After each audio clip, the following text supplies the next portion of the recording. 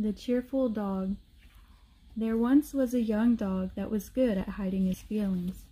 He lived tied up under a tree. He wagged his tail often and did cute tricks, so the villagers called him the Cheerful Dog. Though he played well with the children during the day, he cried in secret every night.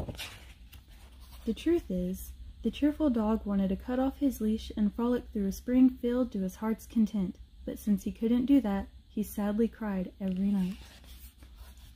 The body is honest, and so it cries when it's hurt, but the heart is a liar that remains quiet even though it's in pain. Only when he fell asleep would he finally cry out loud. One day, something inside him said, Why don't you cut off your leash and go be free?